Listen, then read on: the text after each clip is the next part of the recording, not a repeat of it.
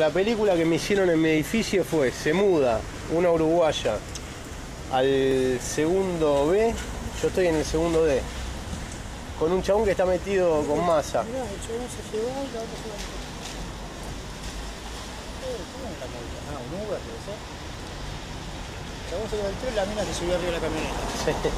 ¿Te la cuento o no te la cuento? Contame, ver. Se muda al segundo D, un uruguaya para hacerse pasar por exnovia mía. Sí. Pero el chabón que está ahí Sí. es un chabón que estuvo con masa y que pacta con el PO y con otros sectores políticos. O sea, la derecha pactando con la izquierda.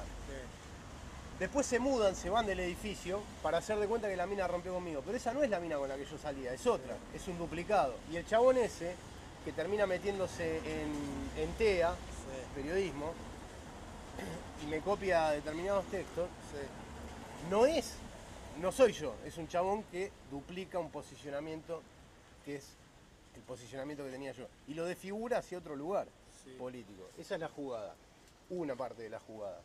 Los chabones están en una lista junto a una piba estudiante de periodismo de TEA que fue asesinada, la chilena, ¿te acordás? Sí. Bueno, esa es la piba que me quería hablar antes de que la asesinen, que me sabía que me iban a chorear y que me iban a agarcar obras y demás. En el tramo de todo eso me borran uno de los canales donde yo tenía un montón de archivos de distintos lugares donde laburé, pizzería, puesto de libro, puesto de diario, en fin. Bar. Con todos los personajes que iban apareciendo, que son los que me hicieron la emboscada por la cual terminé con esta cicatriz, que es una emboscada pactada entre Chorro y Yuta, ¿eh? Sí. no es una emboscada Poliladro.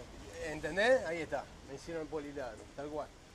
¿La entendiste? Sí, no la cuento más.